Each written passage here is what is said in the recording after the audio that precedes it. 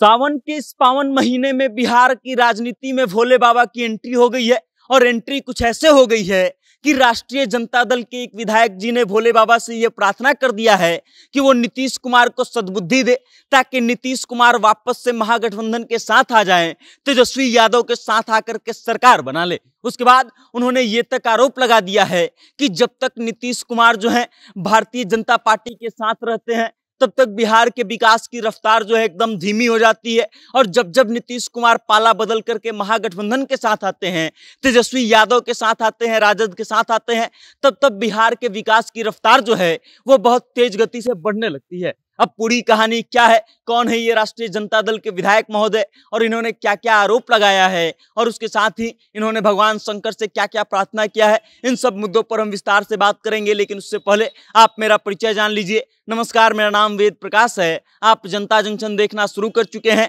और कैमरे के पीछे हैं विशाल।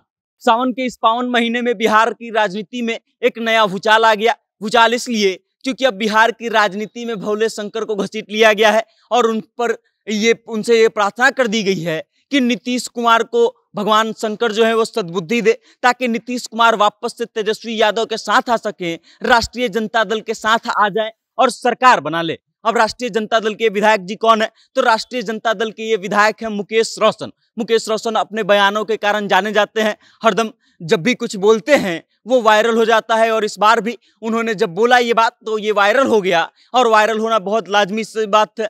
हाजीपुर में शंकर, भगवान शंकर के मंदिर से पूजा करके वो निकल रहे थे। तभी मीडिया वालों ने उनको घेर लिया। और उसके बाद मीडिया वालों के सवाल करने पर मुकेश रोशन कहते हैं, बिहार की राजनीति के लिए हम भोले शंकर से प्रार्थना करते हैं कि नीतीश कुमार को वो सद्बुद्धि दे, वो उन पर जंतर मंतर फेंके, ताकि नीतीश कुमार का दिमाग खुले और वो वापस से राष्ट्रीय जनता दल के साथ आ जाए, तेजस्वी यादव के साथ आ जाए और तेजस्वी यादव के साथ आकर के सरकार बना ले। अब इसको, इन सब चीज़ों को पर बोलते हुए मुकेश रोशन जो है इस बात का दावा करते हैं कि जब जब राजद के साथ जो है नीतीश कुमार सरकार में रहते हैं, महागठबंधन के साथ सरकार में रहते हैं, तेजस्वी यादव उप मुख्यमंत्री रहते हैं, तब बिहार के विकास की रफ्तार जो है बहुत तेज होती है और बिहार तेज़ी से विकास करता है। लेकिन जब जब नीतीश कुमार पाला बदल करके एनडीए के साथ जाते हैं, भारतीय जनता पार्टी के साथ जाते हैं, तब तब बिहार का विकास जो है एकदम स्लो पर जाता है, धीमा पड़ जाता है और इस कारण से नीतीश कुमार को वापस से अब महागठबंधन के साथ आ जाना चाहिए और इस कारण से वो भगवान शंकर से ये प्रार्थना कर रहे हैं।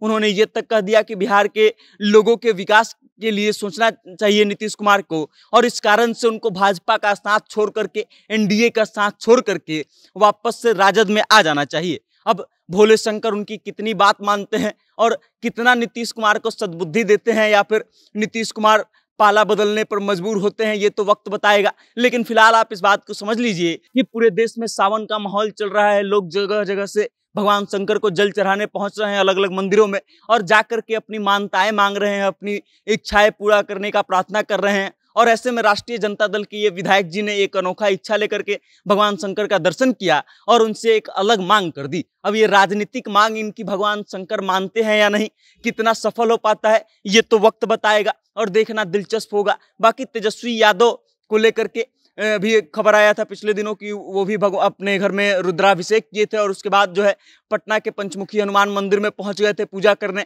अपनी पत्नी के साथ। और उसके बाद से इस बात को आप समझ सकते हैं कि कैसे बिहार की राजनीति में जो है अब भगवान शंकर की एंट्री हो रही है। आज सावन के पावन महीने में भगवान शंकर को भी खींचा जा रहा है और उनसे ये प्रार्थना की जा रही है कि बिहार की राजनीति की दशा बदल जाए और नीतीश कुमार वापस से महागठबंधन के साथ आ जाए। अब नीतीश कुमार इस मांग को सुनते हैं कि नहीं? भगवान शंकर इस इच्छा को पूर्ति करते हैं कि नहीं? ये तो देखना दिलचस्प होगा। बाकी इस खबर को लेकर के आप क्या सोचते हैं? मुकेश रोशन के इस बयान को लेकर के आप क्या सोचते हैं? आपकी क्या राय है?